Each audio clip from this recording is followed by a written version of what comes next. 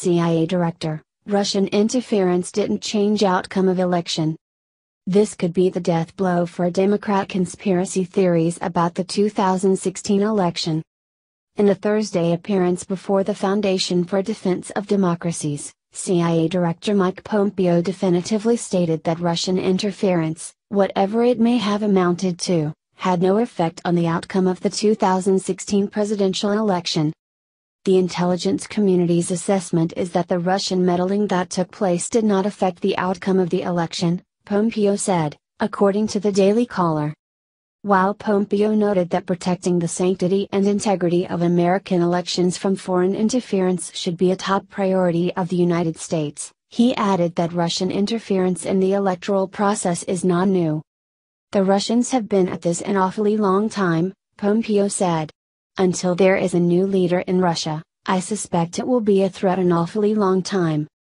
While the CIA issued a statement after Pompeo's speech clarifying that, TE intelligence assessment with regard to Russian election meddling has not changed, and the director did not intend to suggest that it had. CNN notes that the assessment was that the intelligence services did not make an assessment of the impact that Russian activities had on the outcome of the 2016 election.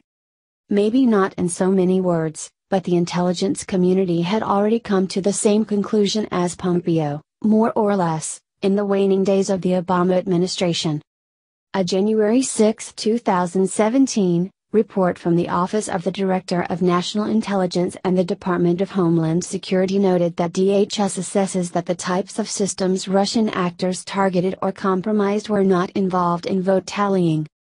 In other words, the outcome of the election was not affected. Pompeo's announcement is no doubt crushing news to American liberals, but I would suggest they divert themselves with the fast blossoming Hillary, Uranium One scandal, although it might not be all that comforting. In the meantime, they can just hold on to their Not My President placards and pink hats. They can always use them to protest Trump being sworn in for his second term. Please like and share on Facebook and Twitter with your thoughts on Mike Pompeo's remarks. What are your thoughts on Russian meddling in the 2016 election? Scroll down to comment below.